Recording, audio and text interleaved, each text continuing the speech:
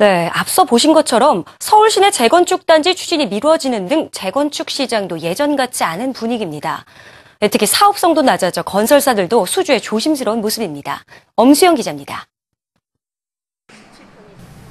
서울에서 총 1000가구 이상의 재건축을 추진 중인 단지는 모두 8만여 가구. 이 가운데 사업 진행이 가시권에 들어온 조합이 설립된 단지는 고덕주공 2단지 등 4만여 가구입니다. 이를 제외한 나머지 대부분의 단지는 안전진단이나 구역지정 단계에 머물고 있어 2014년 말까지인 재건축 초과이익 환수 이후의 혜택을 못 받게 됩니다.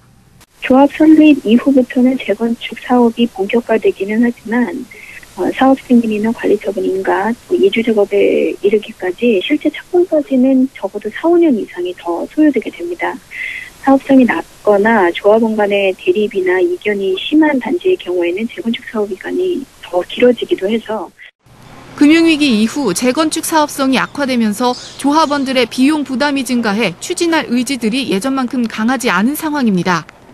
여기에 주택시장의 장기 침체로 대형 건설사들도 알짜 재건축 단지를 하더라도 조심스럽게 입찰에 나서는 모습입니다.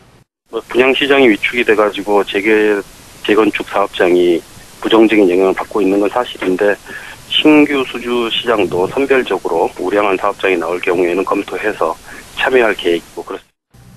이에 따라 조합의 무리한 요구를 들어주면서까지 수주하기보다 시공만 하는 도급 방식이 늘어나고 있습니다.